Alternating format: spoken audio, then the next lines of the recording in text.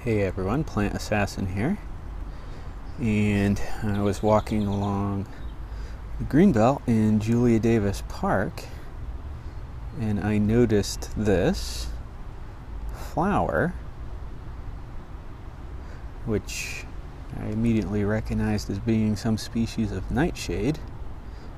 And see it's got a purple flower with a yellow stem there and it is connected to this vine that has a bunch of berries on it. So this is bittersweet nightshade. Can see the berries look like little almost like little tomatoes. And here's some of the green berries here. This is the immature berry. And you see how they branch off and they grow on the branch. But this is a poisonous species that is toxic if you eat too many of them.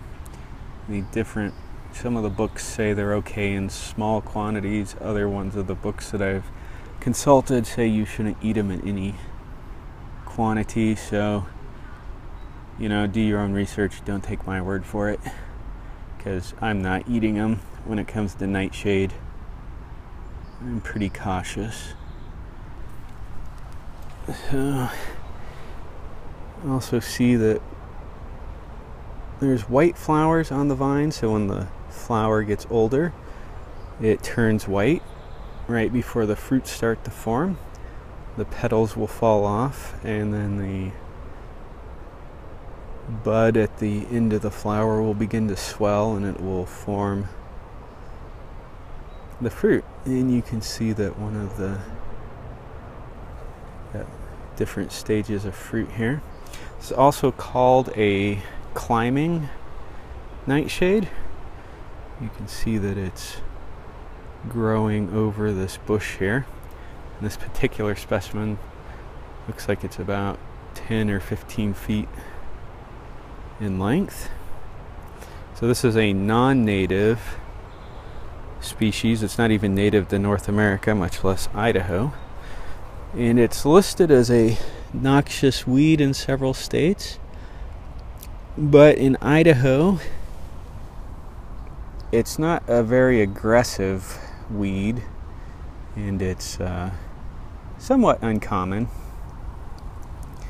So I found another vine on the green belt, but you don't see them too often. Usually they are in shaded areas that are moist and have plenty of water. So it is a attractive vine that uh, birds are drawn to. So, birds are the primary vector of seed dispersal in the United States. So, I don't know of any mammals that eat the eat the fruits. So, and then you can see the uh,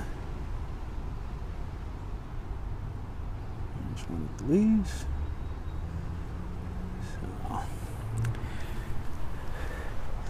And then when they get a little more mature, they're larger.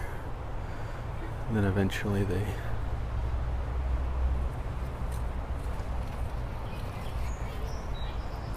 these little buds at the bottom just form into one teardrop shaped leaf. So there it is bitter nightshade, or excuse me, bittersweet nightshade. Also, climbing nightshade. It's pretty hard to mistake this plant for anything else. Now, this is a plant assassin. Please like and subscribe if you found this useful.